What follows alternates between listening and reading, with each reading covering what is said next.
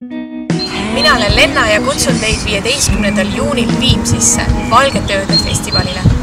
tulge nautige head muusikat ja imeliselt häid Eesti filme koos minu ja Ott Lepperniga. kaugeks lagled läinud rända